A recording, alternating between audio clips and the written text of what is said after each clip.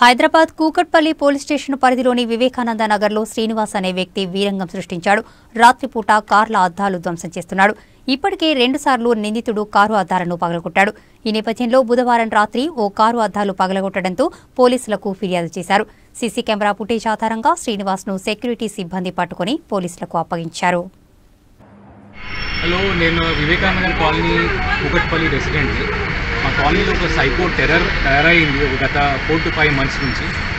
ఒక నా బిల్డింగ్ నుంచి ఒక నాలుగు కార్లు ఇప్పటి వరకు అతను మొత్తం డ్యామేజ్ చేశాడు. మొత్తం గ్లాసెస్ వెనకాల ముందు మొత్తం సైడ్లో మిర్రర్ డ్యామేజ్ చేశాడు. మా టెనెంట్స్ కూడా ఎప్పటి వరకు మళ్ళీ మళ్ళీ దాన్ని రిపేర్ చేపిస్తారు. వాళ్ళు కూడా government employees. So anyways we are requesting authorities to take a strict action ఫ్యూచర్లో అతను వచ్చి వెనకాల because is attacking with stones రాళ్ళతో అటాక్ చేస్తున్నాడు. రాళ్ళు మీకు డార్క్ రాత్రి కూడా డార్క్ ఉంటుంది కాబట్టి వెనకాల వచ్చి మనకి అటాక్ చేస్తే అసలు మాకు చాలా భయం క్రియేట్ అయింది మా సైలెంట్ కాలనీలో requesting authorities take a very strict action at the సిమెస్ this is మా ఇట్ ఈజ్ మా third time we are reporting to the police station but we don't see any any action